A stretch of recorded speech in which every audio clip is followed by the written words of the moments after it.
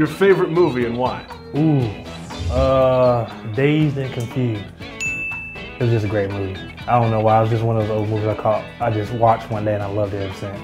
Uh, there's a lot of good movies. Uh, there's a lot of good movies, and there's a lot more movies I need to see. Favorite movie would have to be Braveheart. Who doesn't love Saving Private Ryan? I mean, come on, go America. A lot of fighting and just great, overall great movie. That they may take our lives, but they'll never take our freedom!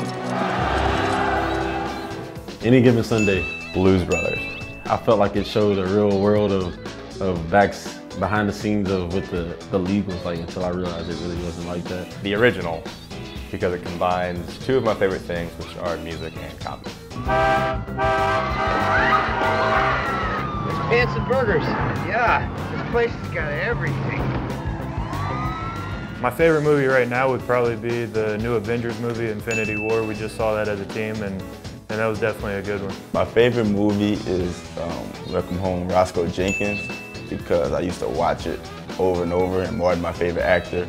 So I pretty much know the whole movie from start to uh, finish. My favorite movie will probably be Dark Knight, just because I'm a big Batman fan. I love what Heath Ledger did with the Joker. Why so serious? Why so serious?